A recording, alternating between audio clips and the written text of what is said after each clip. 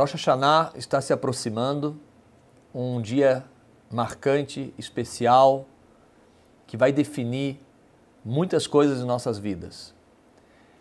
O nosso calendário, o calendário judaico, ele é como um espiral aonde a gente vivencia cada data.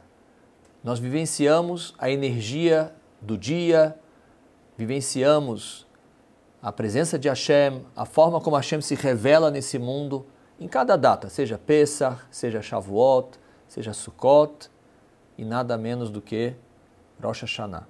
Rosh Hashanah é o dia da nossa, do nosso momento de virada, do nosso momento de renovação.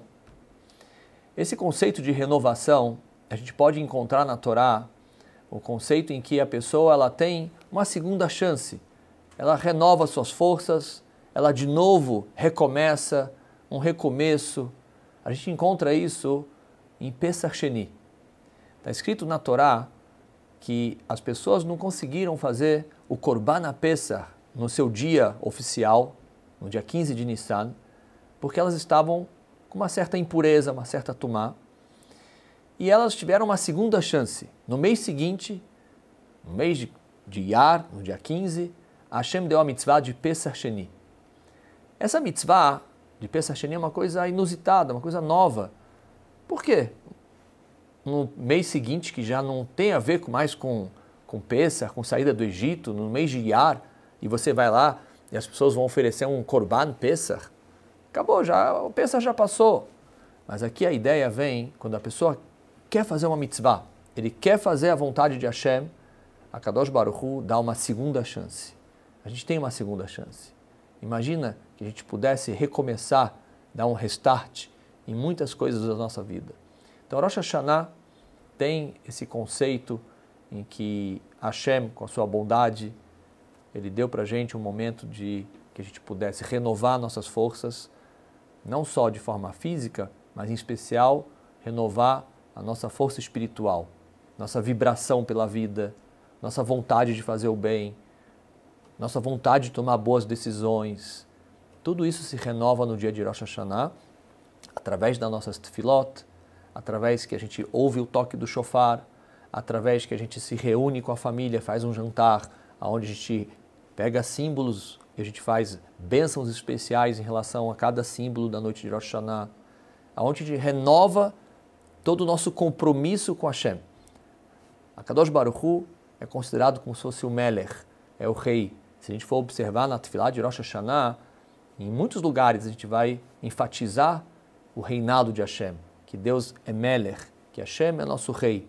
E a gente pede para esse rei para que ele renove o nosso pacto com ele, que a gente renove as nossas forças para que a gente possa ter um ano muito melhor do que o ano que se passou. Mas tudo isso depende de nós, de como a gente vai passar o dia do Rosh Hashanah. Com a nossa introspecção dos nossos atos, recebendo Hashem como nosso rei e renovando as nossas forças, para que a gente possa ter um ano muito melhor, com muito mais decisões, um ano de vibração, em que a pessoa vai pedir o que é mais importante na vida dela, que é viver mais, vida.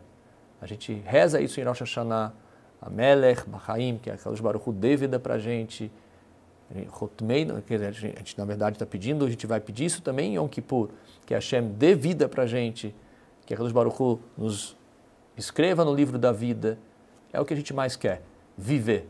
E para isso a gente precisa renovar as nossas forças com a Kadosh Baruch Hu.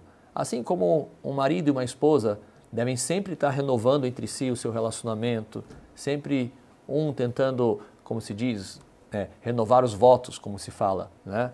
Então a gente relembrar o amor, relembrar a conexão, a ligação um com o outro, assim também é importante. O dia de Rosh Hashanah é marcado com essa renovação da nossa ligação com a Kadosh Baruch Hu e que Hashem, junto com essa ligação, nos traz uma vibração positiva, nos traz uma energia nova e o mais importante de tudo, vida. Meu desejo a todos nós é que a gente possa ter um ano Shana Tová, Metuká, com muitas brachot, com muitas realizações, cada um consiga atingir seus objetivos, que a gente consiga trazer mais cura para o mundo, mais coisas boas, mais vida. Shana Tová.